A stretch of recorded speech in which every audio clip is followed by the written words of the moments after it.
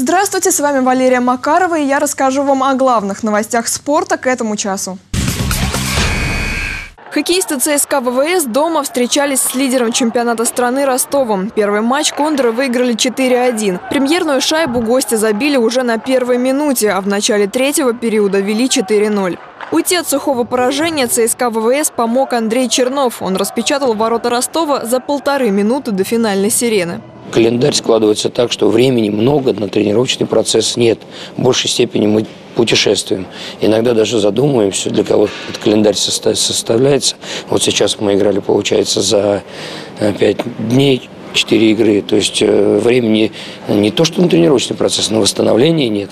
Второй вечер на площадке хозяйничали уже хоккеисты ЦСКА, порой превосходя противников в скорости. Ростов нарушал правила на каждом шагу – 8 удалений, одно за неспортивное поведение. Два большинства ЦСКА ВВС реализовал. Первый гол оформил Ярослав Сенников в конце первого периода. Автором победной шайбы уже в овертайме стал Руслан Швецов. Давно не забивал, а главное, команда выиграла.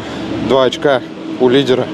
Должны были больше в этой домашней серии брать, пока реализация страдает. Ростовчанам в матче реванша катастрофически не везло. То самарский голкипер Егор Оселедец ловил не берущиеся шайбы, то у нападающих сбивался прицел и спортивный снаряд летел мимо ворот. В результате такой игры лидер чемпионата страны забил свой единственный гол только в середине третьего периода. У обоих команд была другая игра. Вчера она была более медленная, такая тягучая, скажем так. Вот.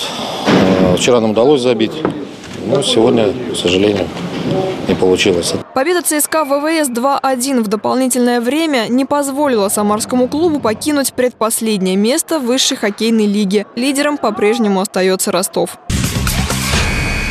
Это были все новости на сегодня. И помните, спортом лучше заниматься, а не говорить о нем.